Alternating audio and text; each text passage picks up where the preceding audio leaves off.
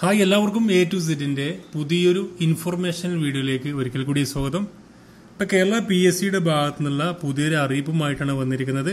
Kerala P S സിയുടെ tenth preliminary exam നടന്നിരുന്നു. അത് ഫെബ്രുവരി മാർച്ച് മാസങ്ങളിലായിട്ടാണ് നടന്നിരുന്നത്. അപ്പോൾ ആ ഒരു സമയത്ത് പല കാരണങ്ങൾ കൊണ്ട് എക്സാം എഴുതാൻ കഴിയാത്ത ഉദ്യോഗാർത്ഥികൾക്ക് വീണ്ടും ഒരു അവസരം കൂടി നൽകിക്കൊണ്ട് ഒരു പുതിയൊരു അറിയിപ്പ് കേരള പി എസ് സിയുടെ ഒഫീഷ്യൽ വെബ്സൈറ്റിൽ പ്രസിദ്ധീകരിച്ചിട്ടുണ്ട്. അപ്പൊ അത് നിങ്ങളെ അറിയിക്കാൻ വേണ്ടിയാണ് ഈ വീഡിയോ തയ്യാറാക്കിയിരിക്കുന്നത്. അപ്പൊ നമുക്ക് അതിന്റെ ഡീറ്റെയിൽസ് നോക്കാം.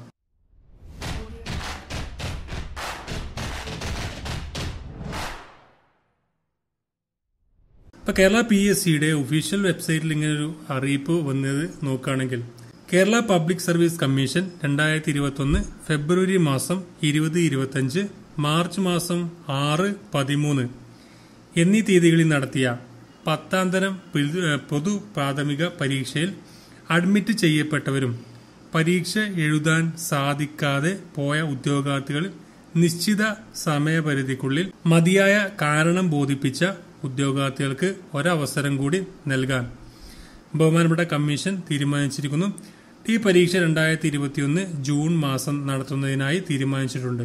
ഉദ്യോഗാർത്ഥികൾക്ക് വ്യക്തിഗത അറിയിപ്പ് യഥാസമയം ലഭ്യമാക്കുന്നതാണ് എന്ന് അറിയിച്ചാണ് ഈ ഒരു അറിയിപ്പ് വന്നിരിക്കുന്നത് കേരള പി എസ് സിയുടെ ഒഫീഷ്യൽ വെബ്സൈറ്റിൽ അപ്പം ഇത് പറഞ്ഞിരിക്കുന്നത് ഫെബ്രുവരി മാസം ടെൻത്ത് ലെവൽ ഫെബ്രുവരി ഇരുപത് ഇരുപത്തഞ്ചിന് അതുപോലെ മാർച്ച് മാസം ആറ് പതിമൂന്ന് എന്നീ തീയതികളാണ് നടന്നിരുന്നത്. അപ്പം അന്ന് ചില ചില ആളുകൾക്ക് കോവിഡുമായിട്ട് ബന്ധപ്പെട്ട് എക്സാം എഴുതാൻ കഴിഞ്ഞിരുന്നില്ല. അതുപോലെ തന്നെ പേഴ്സണൽ പല കാര്യങ്ങൾ കൊണ്ടും പല കാരണങ്ങൾ കൊണ്ടും എഴുതാൻ സാധിക്കാതെ വന്ന ഉദ്യോഗാർത്ഥികളും അതിന്റെ കൂട്ടത്തിലുണ്ട്.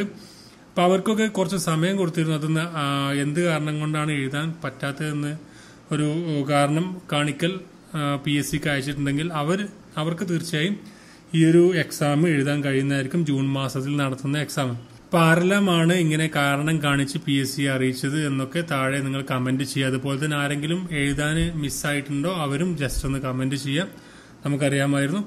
അപ്പൊ തീർച്ചയായും ഇത്തരത്തിലുള്ള അപ്ഡേഷൻസും അതുപോലെ തന്നെ ജോബ് അപ്ഡേറ്റ്സും ഒക്കെ നിങ്ങൾക്ക് ഉടനെ ലഭിക്കാൻ ചാനൽ സബ്സ്ക്രൈബ് ചെയ്യാത്ത ഇപ്പോൾ തന്നെ സബ്സ്ക്രൈബ് ചെയ്യുക അതുപോലെ തന്നെ ഈ അറിവ് നിങ്ങളുടെ സുഹൃത്തുക്കളുമായി ഒന്ന് പങ്കുവയ്ക്കുക. Thank for watching have next day